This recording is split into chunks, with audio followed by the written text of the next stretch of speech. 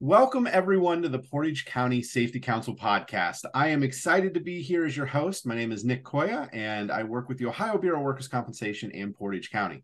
I am excited to have on the show today with us um, Drew Hinton, for, the president and CEO of Arrow Safety. Drew, welcome to the show today. How are you doing? Good. How are you, sir? I'm doing good. I'm excited to have you here. Um, you just Appreciate you're, it. you're really a, a, vast wealth of knowledge, and uh, I'm really excited about this but I know that just because I've met you before. Tell our listeners just a little about who you are, your background, those sorts of things. Yeah, sure. So, like you mentioned, I'm the president and CEO of Arrow Safety. We're a safety consulting training firm out of uh, Southern Kentucky. Prior to this, I've got 15 years of safety experience. I've worked as a global EHS manager for a chemical manufacturer, corporate safety director for a construction company, um, but I like to also say kind of I've seen kind of both sides of the fence. So in that same time frame, I've worked 12 years as a career firefighter, EMT, hazmat officer, all that fun stuff in Louisville, Kentucky. So you know I like to say that I've seen both. You know when safety does work and when safety doesn't work, and they're calling 911 and panicking. Um, you know I've been around a lot of industries, gotten gotten degrees and all that stuff. So um, looking forward to our discussion here. You know I'm really excited about this discussion because I think it's an important piece uh, for organizations. Um, and, it, and the topic we're, we're, we are focusing in on today is how to evaluate your training programs. I mean, training really is an important piece uh, yep. of puzzle. You know, we can write the best programs in the world and document it every way OSHA needs us to, but that's not going to keep anybody safe. We got to take those thoughts, that legalese that's on the paper, and get into the minds of our employees in a fashion that's effective for them. Um, so right. training training really is important. So let's exactly. talk a little bit about that. You know, what's what's your thought on training? Do you like to see more online training, in person training, a hybrid model? What, what does that look like for you in your mind? I think everybody's every company has a, a different need based on their training analysis. They do a training analysis to figure out what they're actually needing, what topics it is. And one customer, one company may work really well with a hybrid model. You know, they do a little bit computer based training and they do a little bit of hands on training some customers and companies may work really well with um, completely all hands on. You know, it all depends on the topic. If I'm doing a you know HAZWOPER training or hazmat training, for example, I need to be out there doing my hands-on stuff. There's and there's some OSHA letters of interpretations out there about specifically about HAZWOPER training, asking if computer-based training is you know sufficient and they come back and say that that alone would not be sufficient. Now you can get some of the topics of that of that curriculum out of the way on computer-based training, but you would still need to supplement that with you know a, a site specific on hands-on training to go over your your site specific hazards your equipment your chemicals processes things like that so um, you know i think it's a it's a it's a topic that people tend to at least from what i've seen tend to take the the easiest route out with that so if they say, hey, how much can we get an online OSHA 10 course for, or whatever it may be, you know, hey, we can do it 50 bucks here. Let's let's do it online for 50 bucks versus, you know, bringing somebody in to do it for 200 bucks a person, whatever that whatever that cost may be. You know, of course, OSHA 10 is not actual training, but just to kind of give an example, like some people are usually looking for, in most cases, the easiest way out. They don't really do a deep dive and say, what's truly going to benefit us and and and give our workers the best education, training, knowledge, and give them the skill sets to do their job. Well, and I think that's why we have to evaluate our training programs on a routine basis because things change. Um, let's face it, the workforce has drastically changed over the past five years. Um, exactly. We're seeing more of those baby boomers on their way out. We're seeing the younger generations come in, and there's different expectations generationally about how we best learn or how we want to interact with that training. So now is the time for companies to really be evaluating that training program. Um, and I think one of the first places we can take a look at is our trainers. Do we have trainers in place that are adaptive enough that can work with the different generational and learning needs? Um, or are we just grabbing, hey, guess what? Your HR and safety is yours, so you got to do it. It doesn't matter if you're good at it or not. Exactly. Yeah. Um, and that's and this is as far as your training program as a whole. I think this is one of the key things that's overlooked more often than other aspects is the trainers.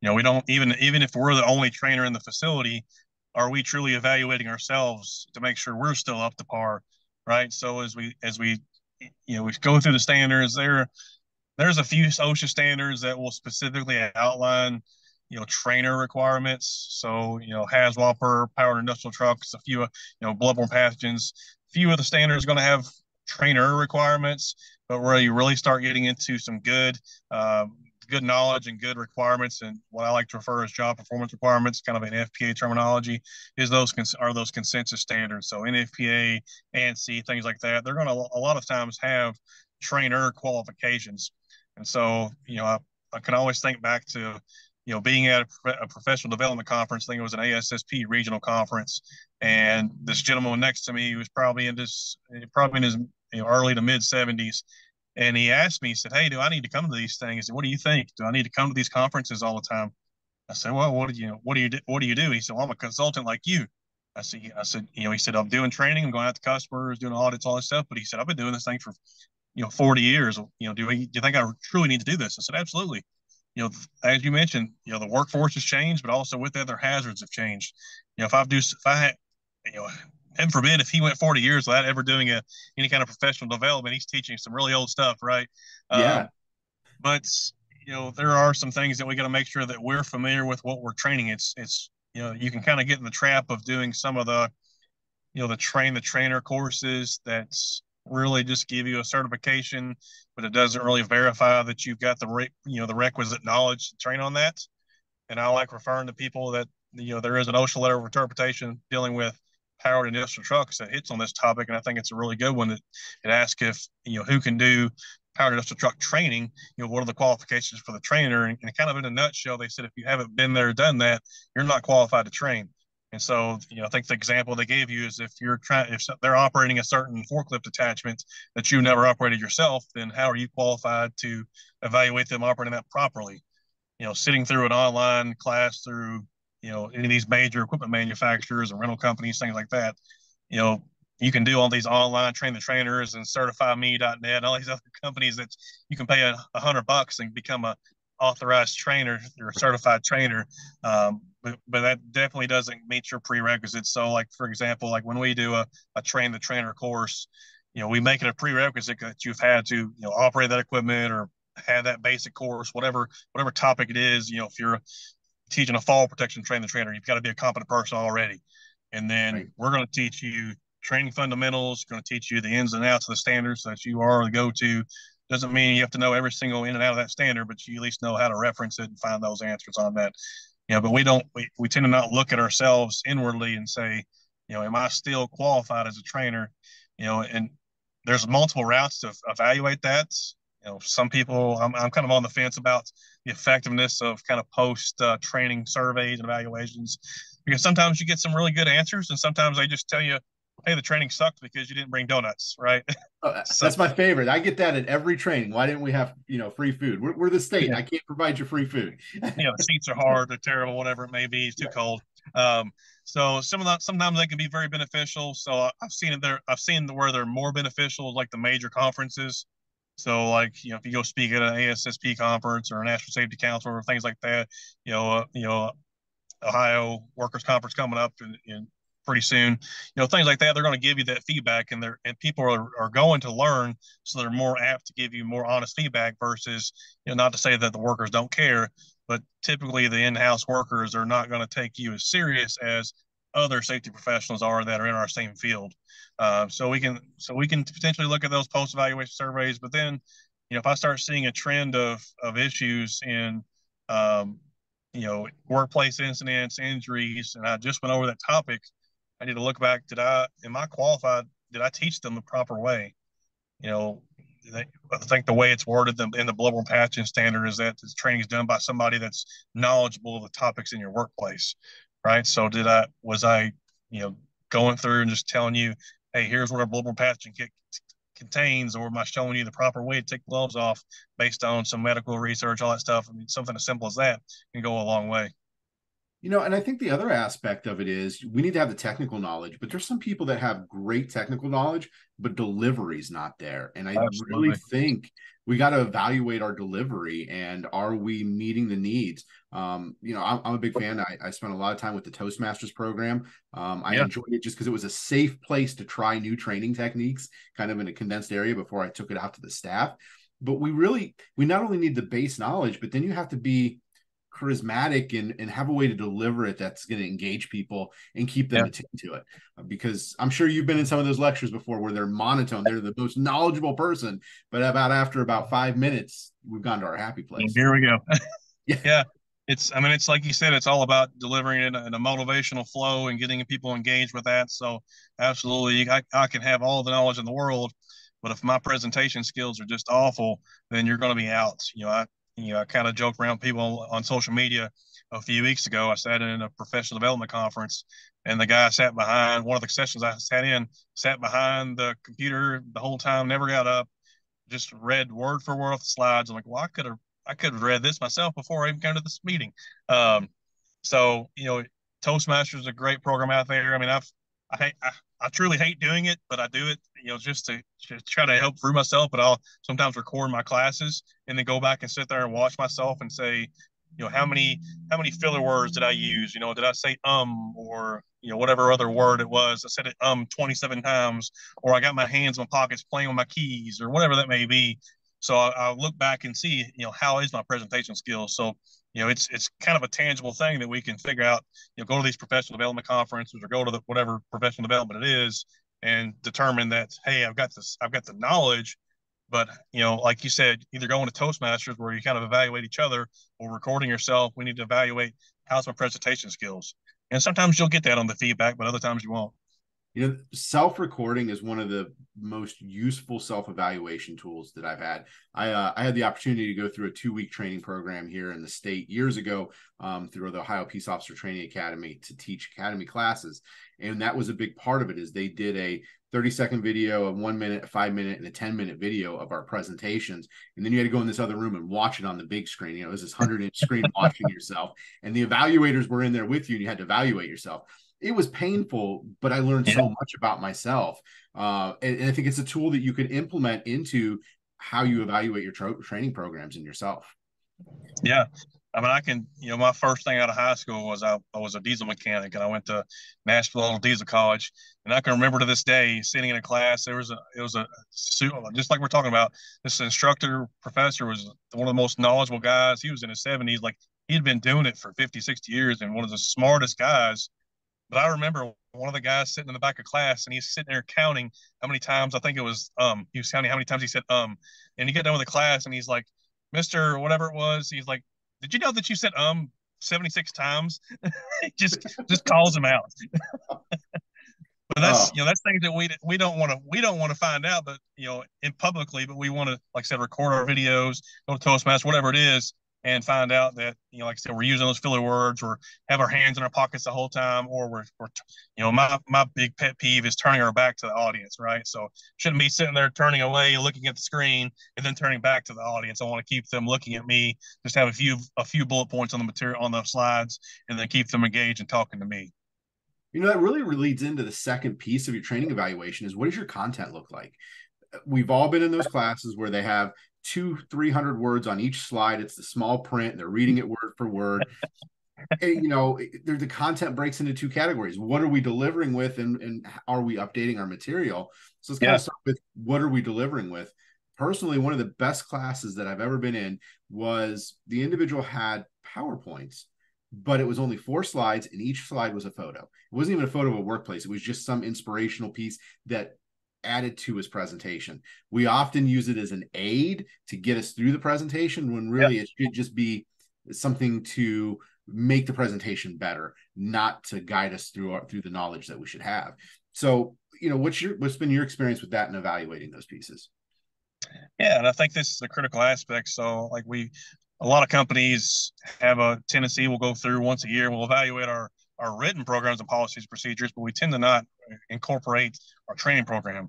We assume that year after year we're going to have the same same topics, but like you said, things update, things change, especially consensus standards. You know, for example, like right now I'm in the process of updating our our arc flash training because they just come out with the 2024 NFPA 70E standard. So I'm going through that, making sure that it's you know, hey, what's what's changed, and then I make sure that if I have changed something, I'm making a keynote either on the screen or to myself somewhere. That way, if I've went through that, let's say I teach a class to a customer that I taught them three years ago, I taught them, let's say the 2021 standard, and I want to teach them later this year the 2024 standard. It's going to help me out and help them out to say, hey, I'm teaching the 2024 the 2024 standard, but here is what specifically has changed. That way it gives them an idea, kind of highlights those specific key differences because they go through and just say, okay, you know, it's 24, 2024 standard, but it's all, it's all going to be the same thing. I just I do this every three years. But if you highlight what are those big, big major changes and major uh, key implementations of that of that standard, that helps them out as a student, but also you as an instructor. So we can go through our training program content and you know, I, I like looking at again. I mentioned earlier those what they call JPRs, those job performance requirements, and so NFPA is really big about this. Like I, you know, coming from the fire department, I, you know, I, I pretty much learned NFPA way before I learned OSHA, and so you know, they have what those JPRs and it, and so for example, like I'll use this example because I'm getting ready to do a conference on air monitoring or a presentation on air monitoring. And so they call it a gas tester. So if you look at like confined space standard, they're called the, the person doing the testing is a gas tester. And they'll say, here is your requirements for knowledge, you know, things that you have to know, and here's your co- competencies that you have to be able to demonstrate. Now I can take those and put make sure that my training material encompasses all of that. Make sure my training material covers, okay, how to, for example, to stay on topic here, how to change out a sensor, how to identify the different different types of sensors, how to interpret your readings, how to bump, how to actually physically bump test, calibrate, you know, fresh air setup, all these different things. And so if we're going through our material, you know, one of the, you know, the worst things I hate, I hate hearing is, hey, we're using something that the previous safety manager was using, right? So we, whether we think it's accurate or not, you know, it, we still have to evaluate that. It, it can sometimes be a trap. You know, maybe that person was super knowledgeable and there's a really good program, or maybe it wasn't, and we're just being too lazy and we're not updating it. We're just going to say, ah, I don't want to spend the time updating it, so I'm just going to go with this because why why reinvent the wheel, right? So, but we may be teaching them the exact, you know, the absolute wrong things out there, and then we're continuing to instill that negative that negative training, that negative thought process, and negative skills in there, which could ultimately lead to an injury illness. You know, and I really think that we we need to do the evaluations because number one, one of the big complaints I hear from customers, I hear from uh, the employees on the front lines when I'm in the facilities is we're just tired of going to training because it's the same thing mm-hmm. every year. I've seen this same video 20 times. I've been here for 20 years. We don't update. Yep. We're not dealing with that. And I think the other piece is it needs to be relevant. There's nothing worse than working in a bakery, right? an industrial bakery, and I'm watching a video that deals with a, a steel mill. Like, yeah. is the content relevant to the work environment too or to the gas meter example hey here's a gas meter here's how i fix it and work with it but we don't use that model here we use a different brand well yeah that doesn't really do me any good yeah that's that's one thing that i always try to focus on you know in the weeks or months leading up to a training with a customer is you know for example if we're doing confined space training. Hey tell me what kind of meter you have. You know what kind of spaces you're going into. Hey we're going into manholes or we're going into tanker trucks or you know, sump pits, whatever it is. That way, and and and I'll always try to, if possible, hey, can I come up there a day before and snap some pictures of your work site so I can go ahead and put that in there, like you said, make it relevant to them. If they're in construction industry, don't show them some chemical plant or something completely irrelevant to them that has no no bearing on what they're doing. Um, but just as you mentioned, going through periodically, even changing those pictures, updating those things, because like you said, if they've been through it five times, I don't want I don't want them sitting through a class that they could teach me back because they've already been through it. Right. So as we kind of wrap up this discussion on our training evaluations, what are what are three things that you would want a customer to do today if they had to go evaluate their their program? What are three points you want them to focus in on that they can take away from this presentation today? So one thing is do a training and out training needs analysis, and then kind of encompass with that as your gap assessment. So figure out what does my company need as a whole, what training does my company need, and then as part of that whole training needs analysis is is a portion of that is your gap analysis. So okay, we need this. Now, what do we actually have in place? What's of course what is our gap? What do I need to put into place? So that identifies to make sure that you at least have something in place, and then you can start building from that. You know, identify your deficiency, build from that, you know, two is, is make sure that we're looking at our, you know, especially like I said, our first topic, our trainers, right? So are we evaluating ourselves, continuously investing in ourselves as trainers and doing continual development? So not just taking train the trainers and calling it a day. You know, we, you know, there's been plenty of times where I'll sit through a class, you know that's somewhat seemingly basic because I want to make sure that I'm not forgetting the fundamentals of these things as a, as an instructor right? So, and then set and just set it up on a you know third thing is just make sure that we're uh, setting it up on a routine schedule to evaluate. Like I said, we have a tendency to evaluate our our policies and procedures pretty frequently, but sometimes we forget to look at the training program at the same time. So make sure that we're incorporating the training program into our you know annual or every six months review, whatever whatever periodic schedule you have on in place. That way, we're making sure that it's up to date. It's it's still catered to our our customers, our clients, our our own workers, whatever that may be, and then we can continue to build off of that. Thank you. I mean, that's great information. I appreciate it. I think our audience is really going to appreciate it. It's going to get them moving in the right direction. In the meantime, if they have some questions, uh, how do they reach out to you? How do they get a hold of you? Um, social media is the easiest way to get a hold of me. I'm on, LinkedIn's probably my most uh, most active content. So feel free to reach out to me on LinkedIn or Facebook or Instagram, whatever it is. And you can always go to our our website, uh, arrowsafetyus.com, and uh, send us an email. I'll be glad to help out any way that we can. All right. Well, thank you again so much for being on here with uh, Portage County Safety Council. We appreciate your knowledge and information as always. Uh, we look forward to speaking to you at the next time. Have a great one. Perfect. Thank you. You too.